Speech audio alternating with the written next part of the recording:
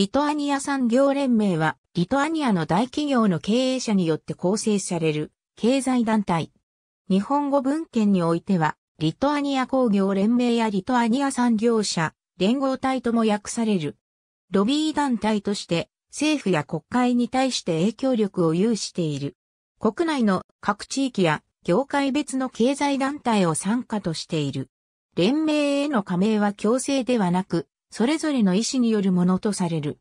リトアニアの国民総生産の約6割はこの連盟に加盟している団体が生み出している。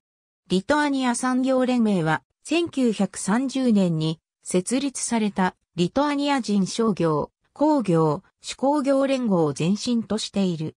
同連合は1933年にリトアニア人実業連合に解消された。1936年にはリトアニア人商業、工業、手工業連合に解消された。当時の名称はリトアニアという国名ではなく、リトアニア人という民族名を冠しており、正会員は民族的リトアニア人に限定されていた。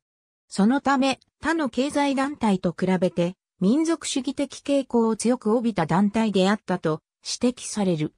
1932年に機関紙ベルスラスを創刊した。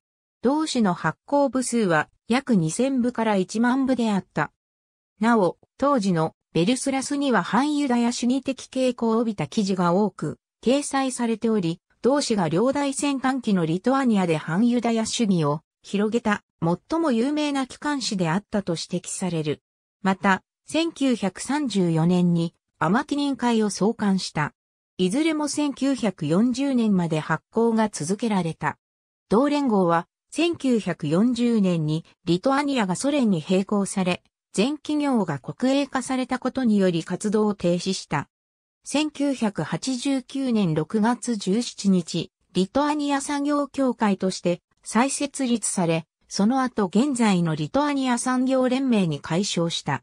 ありがとうございます。